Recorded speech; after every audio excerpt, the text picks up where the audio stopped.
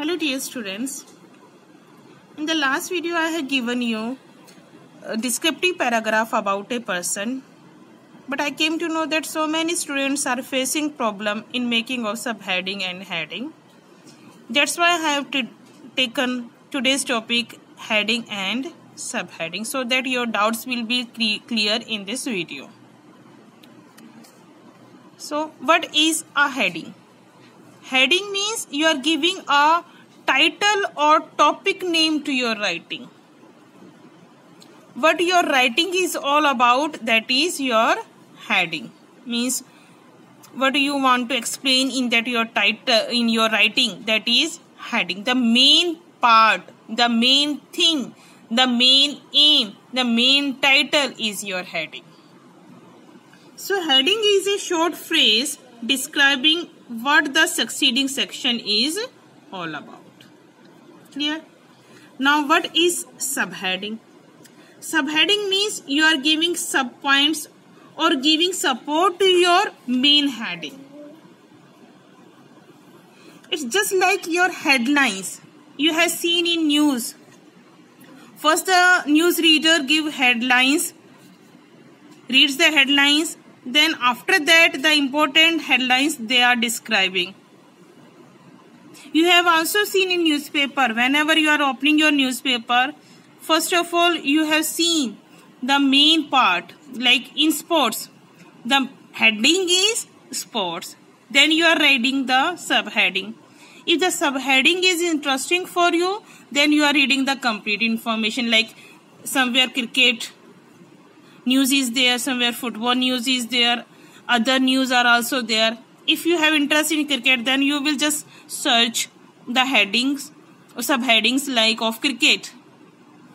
If the information is of cricket if the subheading is all about cricket then you will read the complete information.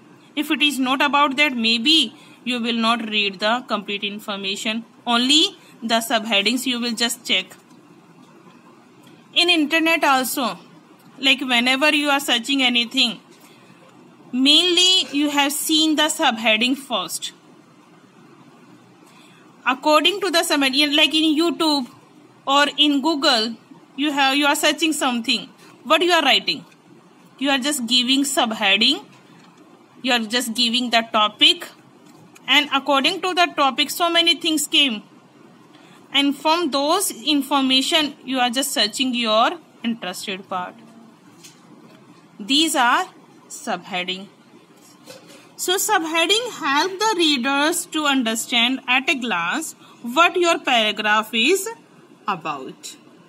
It make your work easier to read because they organize it. Like you have seen.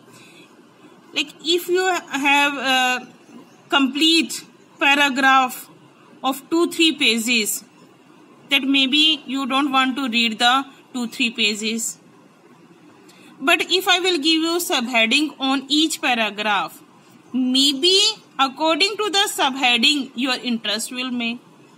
It is also possible that if the subheading is catchy to you, if interesting to you, then only that paragraph you will read, maybe remaining you will not read.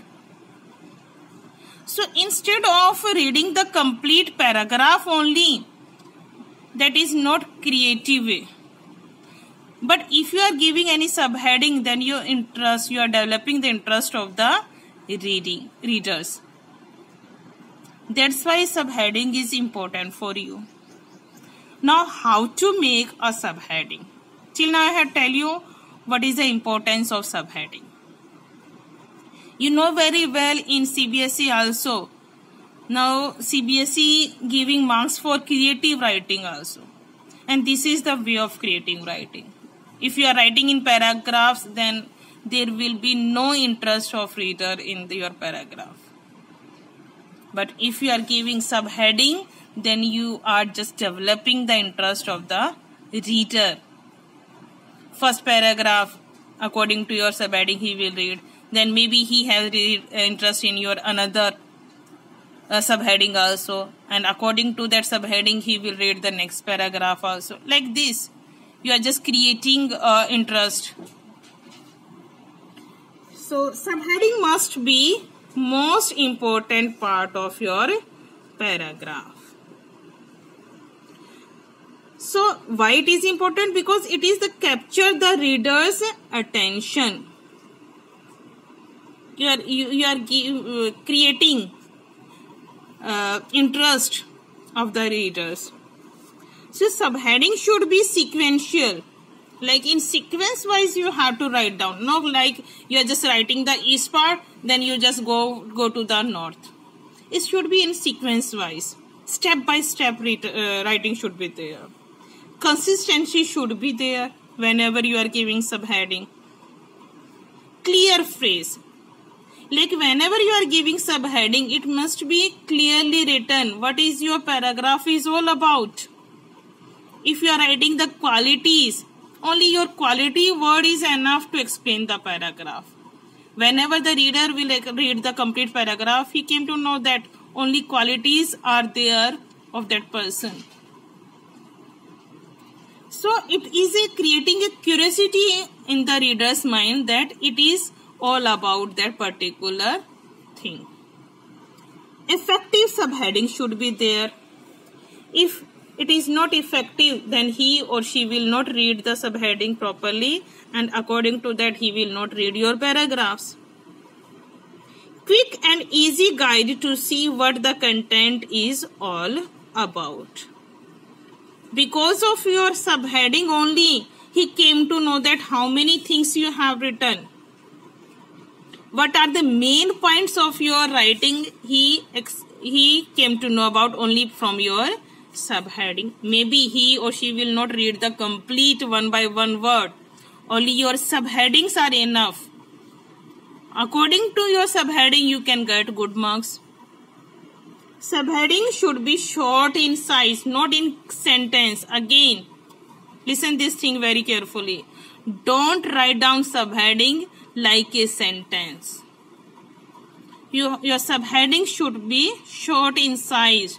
Short and effective subheading you have to give so that only because of your subheading the reader will come to know about that what is in, in the paragraph is all about.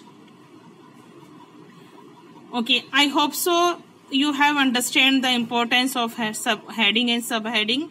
Now I will give you some example also how you can take out a subheading from that paragraph.